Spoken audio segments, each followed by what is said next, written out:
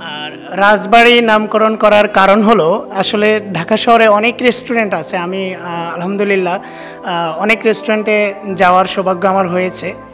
কিন্তু এত বড় স্পেস আমার চোখে দেখা খুব একটা পড়েনি বললেই চলে।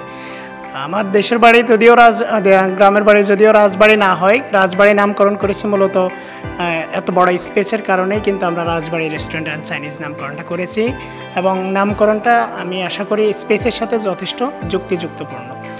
আর সেকেন্ড টাইম হলো যে আমার এখানে যে রেস্টুরেন্টটা আমরা যে রেস্টুরেন্টটা দিয়েছি, এই রেস্টুরেন্টে একটু ব্যতিক্রম পরিবেশ আমরা তৈরি করেছি। বিশেষ করে রেস্টুরেন্টে উঠতি বয়সী যারা আছেন ইয়াং জেনারেশনের ছেলেমেয়েরা, বিশেষ করে রেস্টুরেন্টে এসে একটু সময় চা অথবা কফি, একটু আড্ডা দিয়ে বা বিভিন্ন সময়, অবসর সময় তারা এখানে এসে পরিবেশ, ভালো পরিবেশ পেলে আসবে। সেই জন্যে আমরা এত সুন্দর পরিবেশ, একটা গার্ডেন এবং একটা এসি রুম আছে, আমাদের একটা বিশাল হল রুম রয়েছে, যেখানে অ্যাট এ টাইম তিন জায়গা মিলে আমাদের প্রায় একশো পঞ্চাশ জনের ক্যাপাসিটি আমরা রেখেছি। এবং আলহামদুলিল্লাহ গত কয়েক মাসে আমরা বেশ কয়েকটা পার্টি করেছি।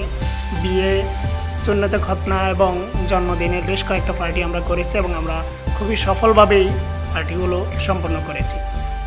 এলাকার মধ্যেও এই রেস্টুরেন্টটা কুড়াতলি এলাকার মধ্যে এই রেস্টুরেন্টটাই সর্ববৃহৎ এবং মানুষের সুনাম আমরা খুব অল্প সময়ে করিয়েছি আমাদের এখানে খাবারের বিশেষত্ব অন্যান্য রেস্টুরেন্টের মতোই আমাদের এখানে খাবার পেলেও আমাদের খাবারের মান অন্য আট দশটা রেস্টুরেন্ট থেকে সম্পূর্ণ ব্যতিক্রম।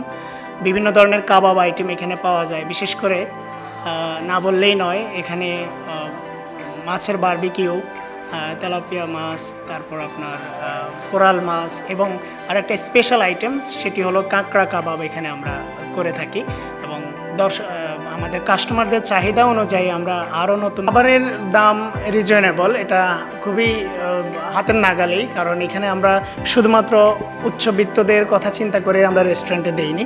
এটা যেহেতু একটা পাড়ার ভেতরে এত বড় রেস্টুরেন্ট আমরা নিম্নবিত্ত থেকে শুরু করে মধ্যবিত্ত, উচ্চবিত্ত সবার কথা চিন্তা করে একটা রিজনেবল প্রাইস আমরা প্রত্যেকটা খাবারের জন্য আমরা নির্ধারণ করে দিয়েছি। আমাদের এখানে আশেপাশে ঢাকা শহরে খুব কম খুব হাতে গোনা কয়েকটা রেস্টুরেন্টে পাবেন যেখানে চাপাতি রুটি অথবা রুমালি রুটি বল- যায়, যাকে যেটা আমরা এখানে করে থাকি। এবং এটার যথেষ্ট চাহিদা রয়েছে। আমরা এটা অনেক সেল করি প্রতিদিন। আপনি দেখেন এখানে কিন্তু সকালের মেনুতে আমরা নর্মালি পরোটা নান রুটি, বিশেষ করে চাপাতি রুটি তারপরে গিলা কলিজা স্যুপ, আইটেম নেহারি, খাসির নেহারি গরুর নেহারি এবং নর্মালি ডাল ভাজি তো থাকেই এবং এগুলো খুবই কাস্টমাররা তাদের চাহিদা মতোই এখান থেকে নিয়ে থাকে এবং প্রত্যেকেই যার যার চাহিদা মতো এখানে এসে খুবই আনন্দের সহিত এখানে বসে, সময় অতিবাহিত করে তারপর খায়। দুপুরের আইটেমের মধ্যে আমরা বিভিন্ন ধরনের মাছ তারপর গরুর মাংস, গরুর কালা ভুনা লাল ভুনা খাসির রেজালা খাসির ডাল ডাল খাসি, তারপর বিভিন্ন ভর্তাবাজি ভ্যারাইটিস ভর্তাবাজি আমরা এখানে করে থাকি যা কাস্টমাররা যার যার চাহিদা মতো সেটা নিয়ে এখানে খাবার দাবার করে থাকেন। বিকেলের আইটেমে আমরা বলেছি যে আমরা স্পেশাল দুটো আইটেম বিশেষ করে মাছের বারবিকিউ এবং কাঁকড়া কাবাব করে থাকি। আর এছাড়া শিক কাবাব, বটি কাবাব, চিকেন তান্দুরি এবং চিকেন চাপ, অত্যন্ত সুস্বাদু একটা খাবার আমরা প্রতিদিন অনেক সেল করি এটা, আলহামদুলিল্লাহ। সব কিছু মিলিয়ে এবং স্পেশাল চা, তান্দুরি চা এখানে হয়ে থাকে। মাটির এই তান্দুরি চায়ের বিশেষত্ব হলো আমরা মাটির কাপে গ্রাম বাংলার ঐতিহ্য ধরে রাখার জন্য মাটির কাপে আমরা চা পরিবেশন করে থাকি কাস্টমারদের সামনে আমরা সেটা পরিবেশন করে দেই।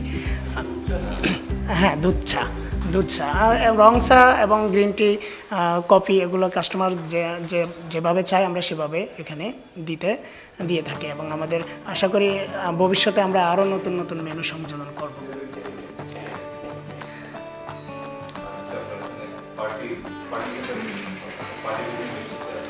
জি। পার্টি বুকিং এখানে আমরা তো আগেই বলেছি, প্রায় প্রতি মাসে আমরা বড় ধরনের দু একটা পার্টি করে থাকি। বেশ কিছুদিন আগেও, গত সপ্তাহখানেক আগেও আমরা এখানে দুশো বিশ জনের পার্টির খরচ নর্মালি অন্যান্য যে চাইনিজ রেস্টুরেন্টগুলো আছে, সেখানে যে খরচটা আমরা তার থেকে আরও কম খরচে এখানে খুব সীমিত লাভে আমরা পার্টিগুলো করে থাকি আমাদের জনপ্রিয়তা অর্জনের জন্য এবং আমাদের পরিচিতির জন্য আমরা এখন অত্যন্ত সীমিত লাভে আমরা পার্টিগুলো করে থাকি। আশা করি খুবই এটা বেশ কয়েকদিনের মধ্যে অনেক নাম সুনাম আমরা করিয়েছি এবং ভবিষ্যতে আমরা ইনশাল্লাহ আরও অনেক বড় বড় পার্টি করব এবং পার্টির অর্ডার হর হামেশাই হয়ে থাকে। জন্মদিন এবং সুন্নতি খতনার মতো বড় বড় পার্টিগুলো আমাদের এখানে হয়ে থাকে। আসলে, আমি শুরুতে হয়তো বলা হয়নি, আমি কিন্তু একজন শিক্ষক। শিক্ষকতার পাশাপাশি আমি দিনের বেলায় শিক্ষকতা করি। রাজধানীর খুব নামকরা একটা স্কুলের গণিতের শিক্ষক আমি। তো শুক্রিয়া, আলহামদুলিল্লাহ, রাতের বেলায় আমি সন্ধ্যার পর থেকে আমি ফ্রি থাকি। তো চিন্তা আসলো যে, রাতের সময়টা সময়টুকু কীভাবে কাজে লাগানো যায়, ঘুমে ঘুমে যাওয়ার আগ পর্যন্ত। সেখানে একটা স্মার্ট বিজনেস রেস্টুরেন্ট বিজনেস এখন তরুণরা এগিয়ে আসছে। আমরাও সেভাবে এগিয়ে আসছি। আর এই প্রাকৃতিক যেই পরিবেশের কথা বলেছেন, মানুষ এখন আসলে অনেক সচেতন। সবাই চায় একটু ভালো থাকতে, ভালো পরিবেশে বসে খেতে, সময় নিয়ে আড্ডা দিতে। প্রাকৃতিক পরিবেশের সাথে আমাদের তো আসলে ঢাকা শহরে গাছপালার খুবই অভাব। কোথাও গেলে গাছপালা আমরা দেখতেও পাই না। এবং পরিবেশ, বাইরের পরিবেশ অনেক ধুলাবালি হয়ে আচ্ছন্ন থাকে। তো আমাদের এখানে যারা আসবে, তারা একেবারে প্রাকৃতিক, ন্যাচারালি এখানে সময় কাটাবে এবং